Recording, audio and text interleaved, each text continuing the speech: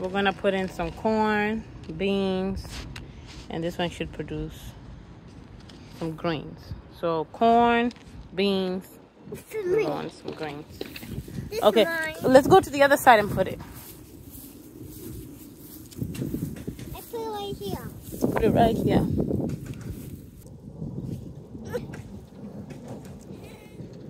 Push it all the way in here.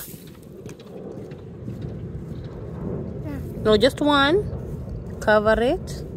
And then put the other one here. Here. Bring it. Sorry. can do it myself. Okay, come on, put it right there. Okay. How did it grow? Pretty much now, it's our...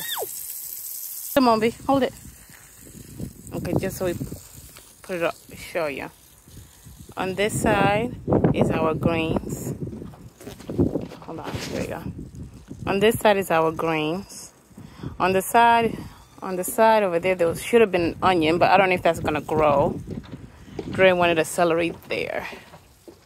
Then on that back corner, we have corn. And then over here, we have beans. So we'll see how that goes. And we watered it up a little bit. It didn't get watered for a few days, only cause, oh, sorry. Only cause of the storm and the tornado and all that. But we're gonna get back to it now. Since the light is back. It's coming back. The. Yeah, it came back after how many days? After like six days, right? I think this grape started sprouting. I believe it did. And we're getting out of hand. We're trying to grow too many stuff. Ow! Trying to grow too many stuff in the garden with not enough space. We're gonna see how this is gonna turn out. I'm gonna plant this. It's bad. We've had a sweet potato that sprouted.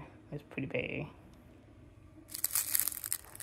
And onion started sprouting. We're gonna go plant it in the garden and see how it works out. I'm nervous this one because they said you plant one and so many can grow that it might mess up our little tiny garden. Like you might end up overpowering some of the other plants, but we'll see.